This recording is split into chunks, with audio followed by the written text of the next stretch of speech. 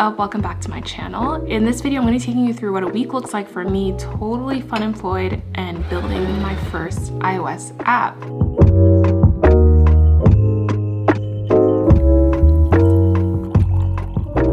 So when I quit my job nine months ago, one of the things I quickly realized about myself was that I was chronically online. The free time I now had because I wasn't going to work, I was absolutely wasting it on social media basically, especially TikTok. When I started making more TikTok content, I was finding myself scrolling for hours on TikTok and I felt like it was low-key becoming an addiction. Basically, I just didn't want this valuable time that I had during my sabbatical to be wasted on social media. And anyone who uses these social media apps knows that social media is extremely addictive and it's so difficult to manage your screen time on these social media apps because they're wired to keep you on there for as long as possible. So to manage that screen time, I think the first place people go to is using Apple's screen time restrictions to help limit their usage on those apps. But for me, I found that it was not helpful at all. Another thing people do is they just delete the app. I felt like I couldn't do that. You know, I make social media content, I enjoy social media, I still wanted to enjoy it, but just in smaller amounts. So that's why I decided to create an app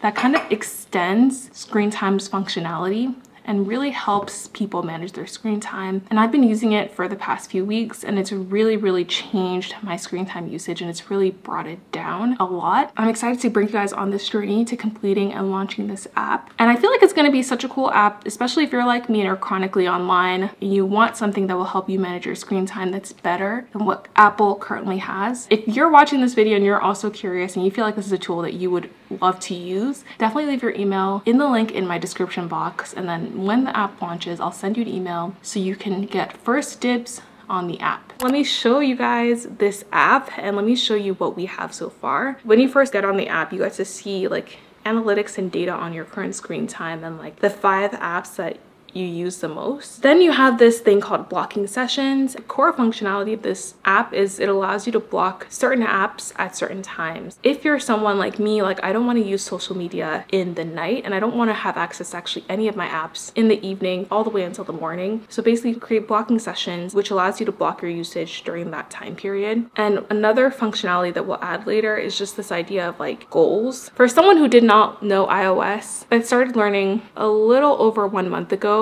being able to have built this app is mind-blowing and crazy and I'm very proud that I was able to build something with limited knowledge of iOS. But yeah, there's a lot to do this week in terms of developing this app. I'm planning to launch it in the next few weeks, but there's so many things that need to be done. This app has a ton of bugs in it, unfortunately, that I'm trying to fix. I have a huge list of bugs that I'm gonna work through. I'm gonna learn how to actually test these iOS apps. I have no idea how testing works for these iOS apps. Like I have no idea how to write unit tests for iOS apps, integration tests, don't know how to do any of those things. So I'm excited to learn about it. Another thing too that I'm gonna do, as you can tell, the app is ugly. Like it is not cute right now. That's something I'm gonna fix this week.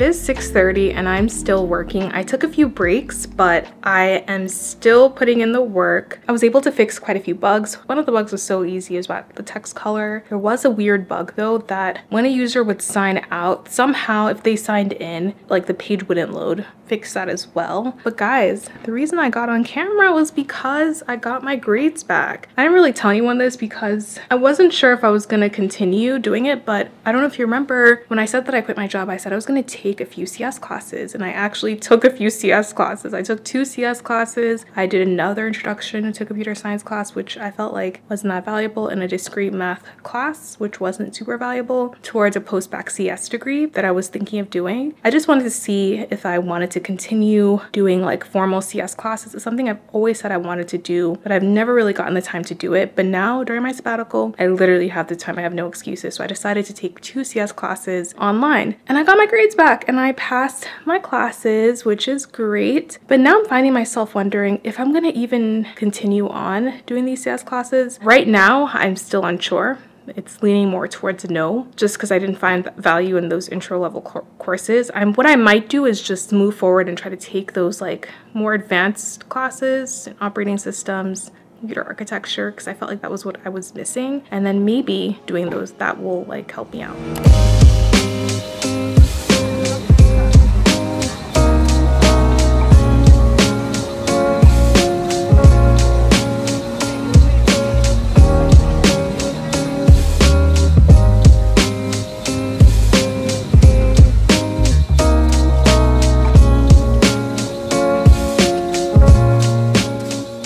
Everyone, so it's the next day. I started the day by walking, which was really nice, got me in a really positive spirit, especially seeing all the cool Christmas decor all over New York City. Like these companies went all out with some of the Christmas decor. It was really crazy. But now what I'm doing is I am going to be working on the design of the app. So I don't have a background in design. I don't have a background in UX. So I'm actually working with a designer to help me improve the design and the UX of this app. This is what we have right now. As you can see, the wireframes are not giving. I drew this on paper and pen and I also used Canva to kind of create a rough idea of what I wanted the app to look like. But as you can tell, it's not in a good state. But thankfully I have a connection in my network, someone who is a designer. She has experience working on numerous apps, so she's actually going to help me improve the design of this app. But I need to send her a few things first. I need to send her how the app is going to flow. I also need to send her an inspiration board of what I want the app to look like. So that's what I'm gonna be working on right now. And hopefully I can get that to her by the end of the day. And after that, we're going to the Christmas markets in New York, which I'm really excited to do. I didn't get to visit them last year, and I'm really excited to visit them this year.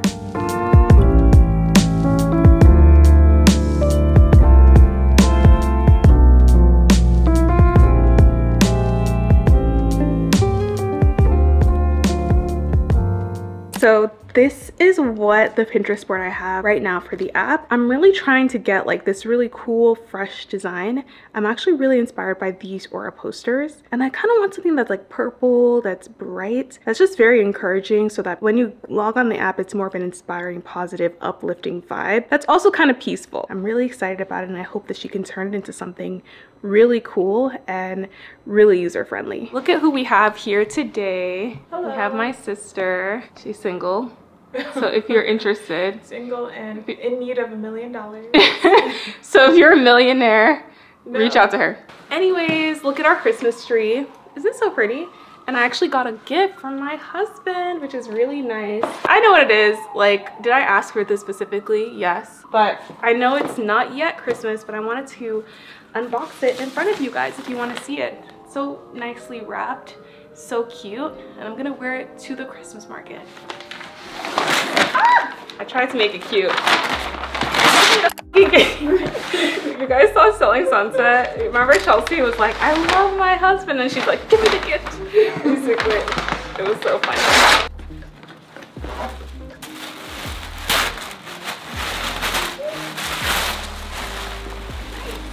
Nice cute leather jacket. And it was such a good gift so thank you to him. This is super cute coat from Toteme. Like a little bit of oversized but this is the jacket.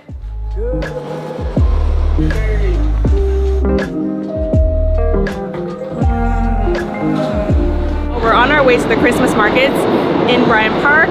There are like cute little shops. We've seen a bunch of stuff on TikTok, so we wanted to check it out while my sister is not working.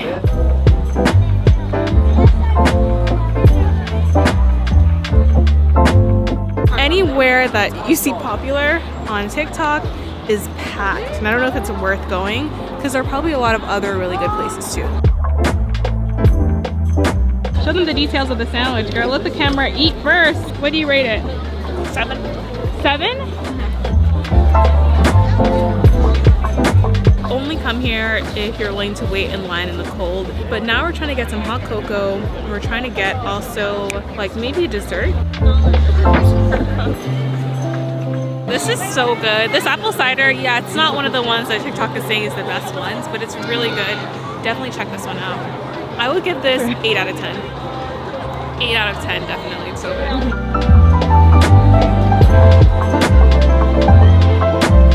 What do you rate this? Hold on, give me a sec. Seven. So I would rate this a 7.5 because the food was good, but not good enough to leave your house and wait in the cold. Mm-mm. Why am I waiting in the cold for something that's not incredible? Mm-mm. So I would say you can go, but I don't think it was worth, that worth it. Stay in your house, basically. stay, in your stay at house, home. stay at It's freezing. Stay at home. So it is the next day and today I'm gonna be leaving the house to go cafe hopping in the city and I feel like sometimes it's so hard when you're working from home or you're fun employed to like get the urge to leave the house but it's so important. I feel like sometimes I'm more productive outside of the house than I am inside of the house. One of the cool things about New York City is that there's so many free spaces where you can get work done. Today I'm gonna be going to a few cafes but I'm also going to be going to this free space in New York City which is actually the Natural History Museum. There's a library very and a workspace on top of the Natural History, Museum, like in the new extension. And that's gonna be a nice, like, quiet space that I can work without having to pay for coffee or anything. It's free, it's quiet, and it will allow me to be productive. The main tasks today are to start unit testing some of the functions. Never done any unit testing for iOS, so I'm probably gonna look online first to try to see if I can see a tutorial that can help me learn how to do that. And then once I do that tutorial, then I'll start unit testing and I'll take you guys on that journey. Let me finish my makeup and then let's head out to study outside.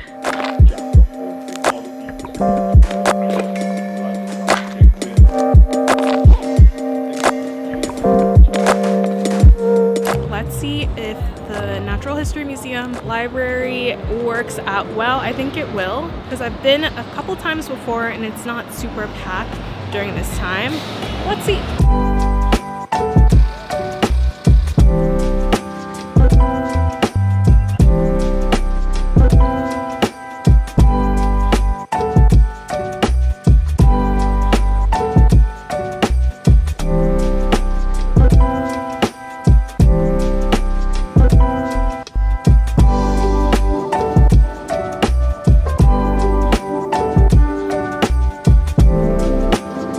The Natural History Museum is so beautiful. Such an underrated workspace in the city. It's quiet, peaceful. It's just you and some old people, a ton of space, free Wi-Fi that's really fast. So if you're in the surrounding area, Upper West Side Harlem, you have to check it out. Okay, let's go home and let's get some food.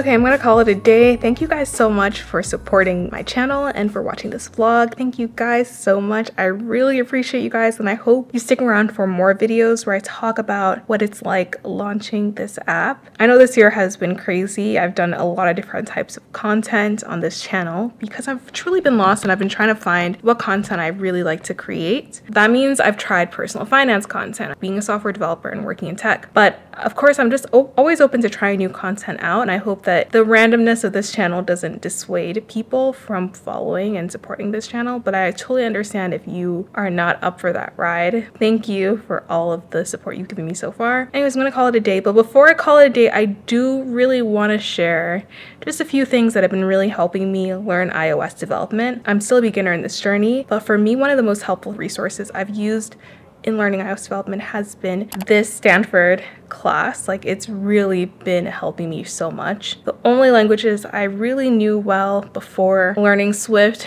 are Java and Python, and it's totally different. It's a whole different paradigm. Those languages are more object oriented programming languages, and that's kind of like how I've learned how to code and like I've learned how to develop. But Swift is more of a functional programming language, so that's been a huge hill to climb. Another thing that's been a huge hill to climb is also the, the MVVM. The MVVM way of creating apps has also been a huge leap for me to understand, but there's still so much more I need to learn. I've definitely been on Stack Overflow. It's been extremely useful, but the most important resource I've been using has been this Stanford class, and as well as a few YouTubers have been super helpful.